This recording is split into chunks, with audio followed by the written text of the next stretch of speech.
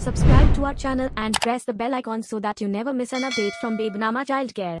नमस्ते मैं डॉक्टर सुमित्रा आपका हमारे चैनल बेबी नामा चाइल्ड केयर में स्वागत करती हूँ तो आज हम जो टॉपिक डिस्कस करेंगे वो बहुत इंपॉर्टेंट है मदर हेल्थ के लिए post partum depression and anxiety तो post partum depression and anxiety post delivery होना बहुत कॉमन चीज़ होती है, क्योंकि जिस दौर से मदर गुजरती है, जिस फ़ेज़ से मदर गुजरती है, उसके बाद ये होना बहुत आम बात होती है। बहुत सारी मदर्स को पता भी नहीं चलता कि वो इस फ़ेज़ से पोस्ट पार्टम डिप्रेशन से सफ़र कर रही है। तो ये कब होता है? ये डेज़ वीक्स या फिर मंथ्स डिलीवरी के बाद हो सकता है, या फिर within one year usually होता है। अब इसके सिम्टम्स क्या क्या होते हैं? तो मेनली जो सिम्टम होते हैं मदर को नेगेटिव थाट्स आती हैं, जैसे कि मैं बैड मदर हूँ मैं गिल्ट फील कर रही हूँ, मैं बच्चे का ध्यान नहीं रख पा रही हूँ, मैं अपने इमोशंस को कंट्रोल नहीं कर पा रही हूँ, मैं अपने बच्चे के साथ बॉन्ड क्यों नहीं कर पा रही हूँ, मैं अपने बच्चे की केयर क्यों नहीं कर पा रही हूँ? तो ये ऐसे नेगेटिव थॉट्स आते हैं। इसके अलावा मदर को सीवियर एंजाइटी होगी, हर छोटी चीज़ में उसको एंजाइटी होगी। एक्सट्रीम थाट्स आएँगे, जैसे कि बच्चे ने स्नीज भी किया तो वो डॉक्टर के पास लेके भागेगी कि कुछ बड़ी चीज़ हो गई है।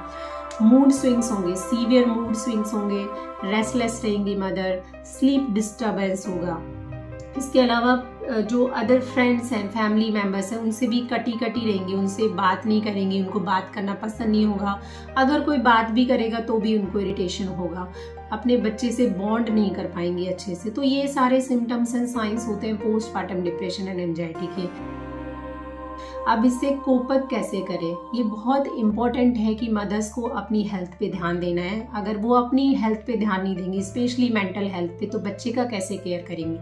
तो इसको डील करने के लिए कुछ टिप्स हैं। सबसे पहले, ये नहीं सोचे कि आप अपने बच्चे के लिए अनफ नहीं है। आप मदर बनी है, आप कैपेबल हैं तो आप अपने बच्चे का केयर रख सकती हैं केयर कर सकती हैं। तो इसके बारे में बिल्कुल नहीं सोचे कि आप कैपेबल नहीं है, आप अच्छी मदर नहीं है।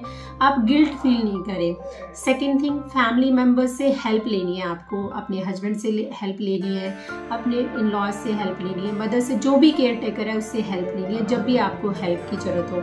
थर्ड थिंग आपको एक बैलेंस डाइट लेनी है। बैलेंस डाइट बहुत ज़रूरी है इस चीज़ में।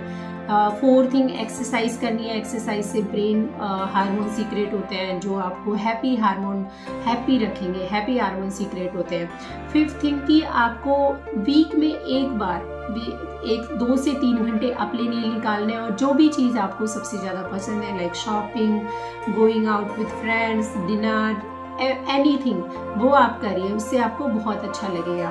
तो ये सारे टिप्स फॉलो करके आप इस फ़ेज़ से निकल सकती हैं और ये बहुत ज़रूरी है। और अगर आप आपको इन सब चीज़ों से भी हेल्प नहीं मिल रही है तो प्रोफेशनल हेल्प लीजिए। आपकी मेंटल हेल्थ बहुत ही ज़रूरी है।